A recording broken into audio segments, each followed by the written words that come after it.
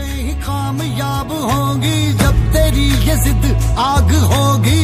फूक देगी ना उम्मीदियाँ ना उम्मीदियाँ। तेरे पीछे पीछे रास्ते ये चल के बाहों के निशानों में ढल के। ढूंढ लेंगे अपना आशियाँ, लम्हों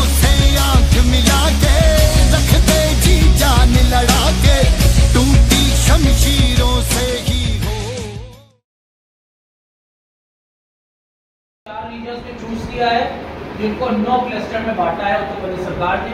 अगर ज़िले हमारे मज़बूत होंगे, हर ज़िले में मूलभूत सुविधाएँ भी होगी आधुनिकरण भी होगा टेक्नोलॉजी भी होगी औद्योगिकरण भी होगा तो हम देखेंगे बहुत हद तक ये विकसित भारत या वन ट्रिलियन इकोनॉमी हम अचीव कर पाएँगे। से सबके फ़ायदे से हम सबका फ़ायदा और हो जाए।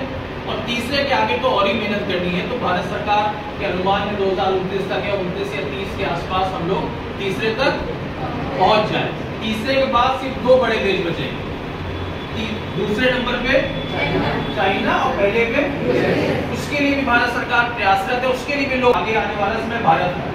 वो ये कह रहे हैं कि अल्टीमेटली जब ये सेंचुरी खत्म हो रही होगी अब एक अभी 2024 चल रहा है जब ये सदी खत्म हो रही होगी भारत विश्व की नंबर एक की अर्थव्यवस्था इस मोमेंटम से भारत के पॉलिसी प्लानर्स भारत की सरकार, भारत के उद्योगपति और भारत के इंस्टीट्यूशन काम कर रहे हैं कि अमेरिका को भी पीछे छोड़ दें, आगे आने वाले समय लेकिन फ़िलहाल, जो इमीडिएट टारगेट हो यही कि पाँचवें से तीसरे में पहुँच जाए।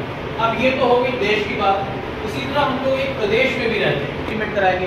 तो इसी तरह परिंदा है तू दिखला दे ज़िंदा है तू।